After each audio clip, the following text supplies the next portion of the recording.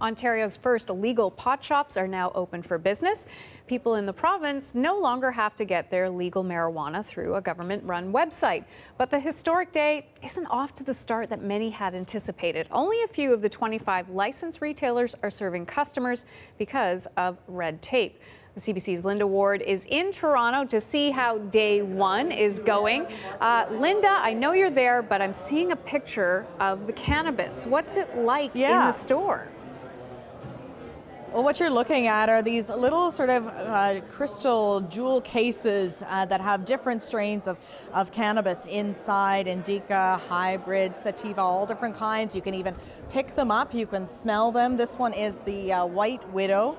You can smell through that little hole there, and there's a little magnifying glass. You can actually look at the buds themselves.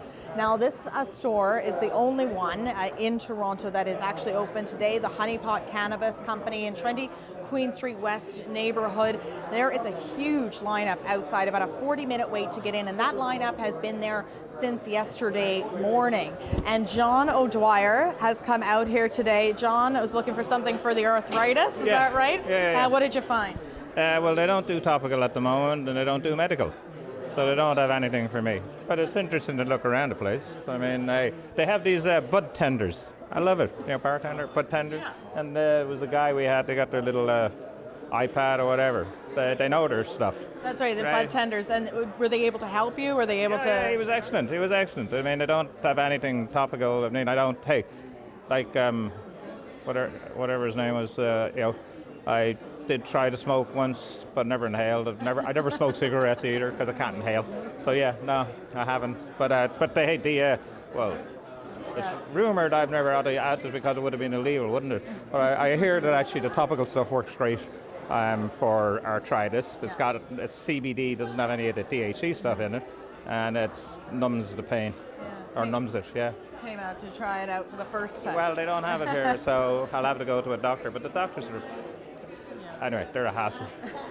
But now, I don't have them, don't know anything about it. The uh, the first store to open uh, was it sort of the novelty of the first yeah, store? Yeah, I just hey, yeah, I thought I'd just go for the fun of it, right? I had time to burn, and uh, yeah, but it's uh, one. It's like the 25 thing is BS, right?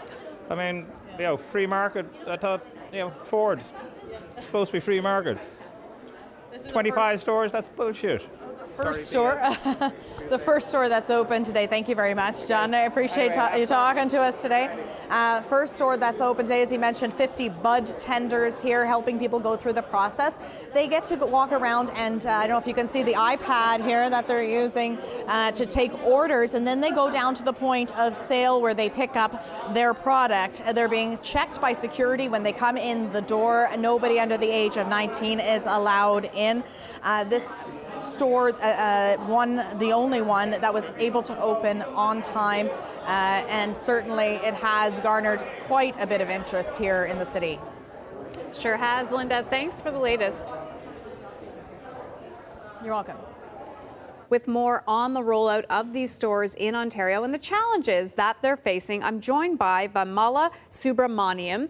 She's a reporter with the Financial Post and focuses on the cannabis industry. So only 10 of the 25 slated brick and mortar stores have opened in Ontario. Why are there so few so far? Hi, Hannah. Thanks for having me. Um, it's because the lottery process in order to obtain a license for retail in Ontario only took place in January 11th. So if you think about it, you've had from January 11th till April 1st, under three months to get everything together from finding a lease for a place, uh, find hiring workers, signing supply agreements with uh, licensed producers, and uh, you know the Ontario Cannabis Store to obtain product, and the process itself with the regulating uh, the regulating body, the AGCO, is extremely complicated in that there's a pre-inspection of your shop, there's a post-inspection just before it's open. So there's a, essentially a lot of red tape that goes into opening up the cannabis store, and you know it ta- it takes time, uh, and they had under three months to get this all together. a lot of the retailers that won licenses didn't have um, retail experience because a lot of them were sole proprietors or just put their name in the ballot. So yeah, I think you know all those reasons combined is why you're only seeing 10 stores. And originally, under the previous government, it was supposed to open in, conjun in conjunction with the liquor stores.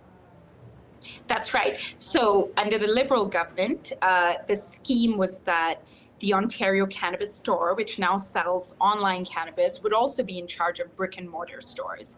Now, what we saw happening was the Ford government came in and he said, I don't want the province to be in charge of this. I want small businesses to get a cut of the cannabis market, uh, to kind of get a piece of the pie. So, what he did initially was he said everyone can apply for a license. Now, all of a sudden in December, uh, attributing this to supply shortage, he then said, uh, nope, we're just going to give out 25 licenses, and these licenses will be dispensed by a lottery process. So that kind of really reduced the number of stores uh, that would come into the province, um, which is very different from other provinces, mm-hmm. by the way. Yeah, and one of the big issues, and you were mentioning it there, is, and the shops are raising this, that there's a possible lack of supply. But Statistics yeah. Canada says we have more than enough. What's going on there? Yeah, so it's actually Health Canada that's uh, that kind of calculates cannabis inventory, and from their numbers, they go to the licensed producers and they ask them, "Hey, how much do you have sitting in your warehouse?" And so the licensed producers give them the numbers, and if you look at those numbers, yes, there's definitely enough, but there seems to be some sort of hiccup between getting product from the licensed producers all across the country to stores. And to be honest with you, no one has been really able to pinpoint why that's a problem. Uh, everyone has, has theories on why that could be the case, uh, such as the, a lot of the inventory is unfinished product and hasn't been packaged finished product because of issues like excise stamps and obtaining them. Just a lot of little red tape that goes into packaging it because this is such a regulated industry. So I think this is going to iron itself out over time. Uh, and you know, within the next few years, we're obviously the supply demand issue will even out. But for now, yeah, there's a supply shortage. Uh, the stores across the country, they're only allowed to offer approved forms of cannabis. So that leaves out edibles. But the government is looking into that. Where do things stand on getting edibles approved? Yeah, so the way so where it stands right now legislatively is that there have been draft regulations that have been proposed. Uh, all the terms of uh, what what kind of products are going to be legal have been laid out. So that includes vape pens, uh, certain kinds of edibles, not candies, not brownies, not anything that's appealing to kids. Um, and if, if the government, the federal government, has said that that will become legal by October. However, we have, uh, you know, the legislative process to go through. The draft regulations have to be discussed and passed in the House. So uh, once that happens, um, you know, possibly October 2019, we'll see those new line of products hit the market. Still a ways to go on that. And what are yep. you noticing? Is there any effect the physical stores are having on the black market? Um, well, it differs a lot from province to province. So in Ontario, we can't tell yet, but you know, just my estimate would say if you have 10 stores uh, open across a province, you know, the big largest province in Canada, that's hardly going to make a dent in the black market. Now you have uh, BC that has two cannabis, legal cannabis stores, but tons of unlicensed dispensaries still in Vancouver and suburbs of Vancouver. And so you really haven't seen uh, the legal market make it down to the black market. However, if you go to, you know, the prairies in Manitoba, Saskatchewan, for instance, that, that there seem to be more legal cannabis stores per capita, so per person. And so I suspect that you will see more of an impact in those less populous provinces. But in the big provinces like BC, Ontario, Quebec, it's not making a dent yet. Vanmala, thank you for breaking this all down for us. I really appreciate it. Thanks, Anna. Vanmala Subramaniam is a reporter with the Financial Post and focuses on the cannabis industry.